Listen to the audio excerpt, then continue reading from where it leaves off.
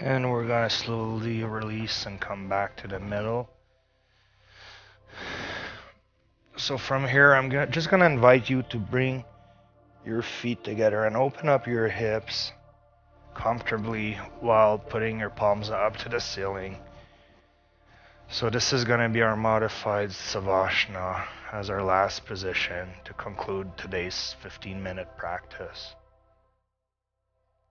So in this position, just allow your hips to open up and your knees to become heavy so that gravity do, does the work for you.